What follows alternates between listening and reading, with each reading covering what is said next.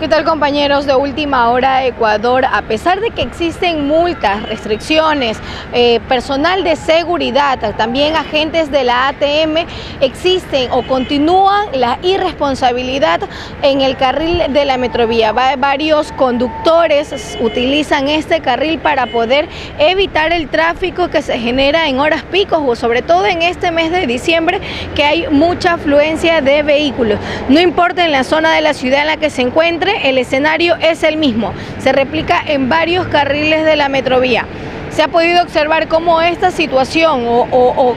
incumplir esta ordenanza ha ocasionado que muchos eh, paradas de la metrovía se vean afectados a lo largo de los de eh, en lo que va del año. Pues ya han sido 46 estaciones que se han visto afectadas desde enero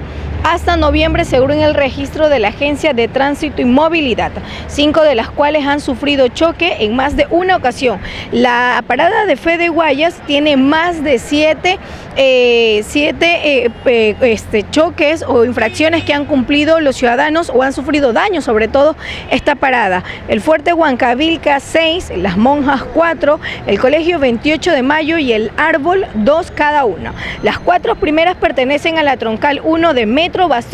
mientras que la última, eh, las últimas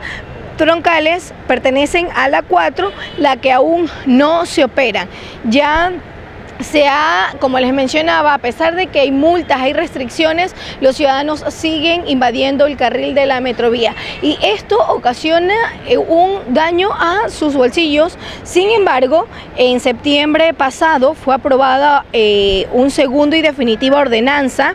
eh, que permite la rebaja de dos multas de tránsito, pues precisamente por las infracciones que más conflicto y desorden generan en las vías, entre ellas las de invadir el carril exclusivo de la metrovía y por ello gran parte de la ciudadanía criticó al Consejo Cantonal al considerarlo oportunista e irresponsable, ya que ellos mencionan de que como tienen varios problemas, varios conflictos se han generado, lo que piden es que algo, algo que es muy particular que se, que, se, que se maneja en este tiempo, dicen que si no les tocan los bolsillos a los ciudadanos, pues ellos no van a acatar las órdenes. Sin embargo, nos hemos podido dar cuenta o resaltar de que a pesar de que sí existen las multas de tránsito, de que sí existe una ley que les prohíba eh, transcurrir o transitar por el carril de la metrovía, estos en muchas ocasiones no obedecen a las normas. También ha habido sanciones incluso para los, los vehículos o los conductores que han ocasionado daños dentro de las paradas de las metrovías.